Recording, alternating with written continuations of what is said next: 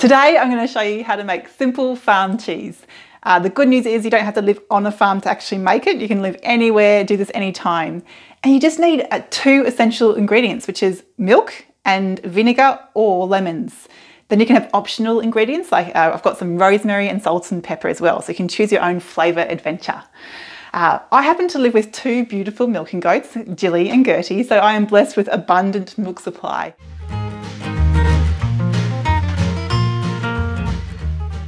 But you can just buy milk from your shop. It doesn't have to be organic, but it's great if it is.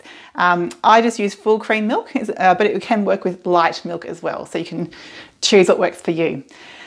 It's so easy. I think it's going to take maybe around 30 minutes and most of that's just waiting for things to heat up. So let's crack on. Important thing with cheese making is that you have to sterilize everything that you're going to use.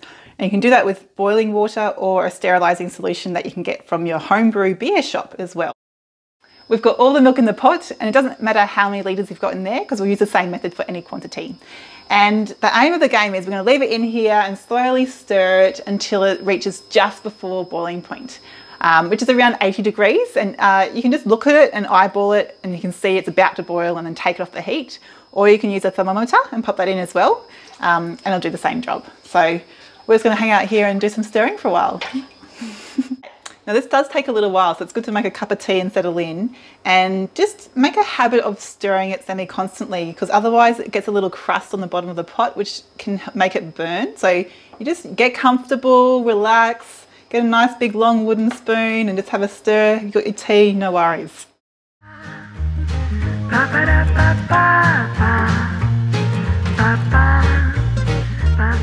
How much should you add, I hear you ask?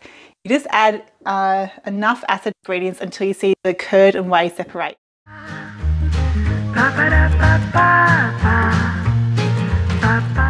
Looking really nice. You see it's really clear, the curds and whey separating. It's a real thing. There's no confusion about it. You should not be confused.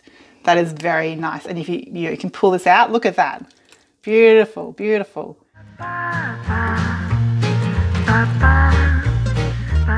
Uh, next step is we're going to drain it all and we're going to capture the whey because it's incredibly nutritious. You do not want to waste that down the drain.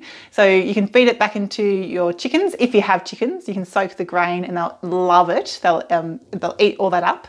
And you can also, once it's cool, put it back onto your garden. Uh, keeping in mind it's slightly acidic, so you don't want to put it too much on uh, some of your plants, but you definitely don't send it down the drain. Um, so for the next stage, you will need a couple of things. You need some cheesecloth, or I'm just using a brewer's bag, but just some, it could be a, a nice coarse um, tea towel as well with nice little holes, but something fine. And then I use a, like a colander and a bowl. So I put those things together. And I'm going to need a few bowls because it's quite a big batch, but I'll start with this one. And I'm just going to pick it up and tip it through.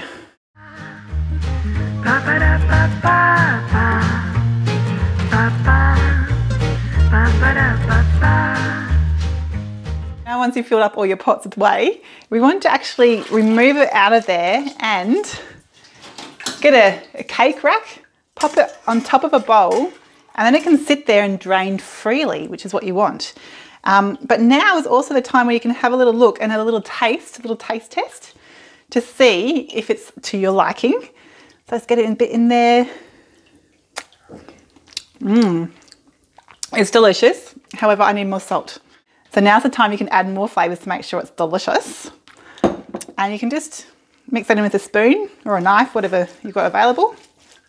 All right, so after it's cooled down a bit, you can start to give it a really nice squeeze. And as I mentioned earlier, you can just um, let it sit there and do its thing and go away and live your life. Or if you're impatient like me, you can just hang it out a bit, let it cool down and start squeezing it. And then it will start to hold so it can take shape. So it means that I can open up my little bag and out it comes. Kind of looks like a brain. but it's so beautiful and you can eat it immediately and it is, mmm, it's really good.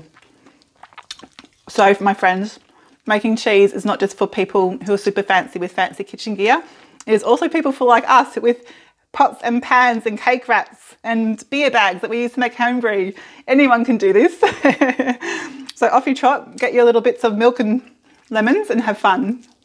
Hi, I'm just popping back in to show you a different batch of cheese I've made, which is bigger and I've left sit overnight so you can see what type of shape it is. And it's more of a, a paneer. So you can cook with it in different curries and do all different things. But check this out. Woo! it's quite the beast. And you can see it holds its shape really, really well. This is a lot of cheese and we get this every week, even through winter. So I share it a lot with lots of friends.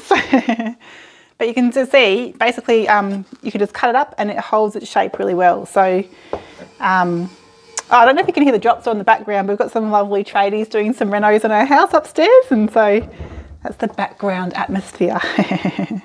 but you can see, look, it's like a slab of paneer. And of course you can cut it into any shape.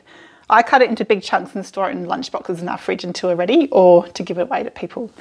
And the other thing I wanted to tell you is this is this simple cheese making um, technique is a really nice thing to do if you've got milk that's just gone off in the fridge so it's a little bit sour definitely wouldn't want to put it in your cup of tea or coffee but you can make cheese out of it and it is fantastic so this is a nice relatively quick way to um, prevent waste and create this incredibly delicious and nutritious cheese for you and your mates.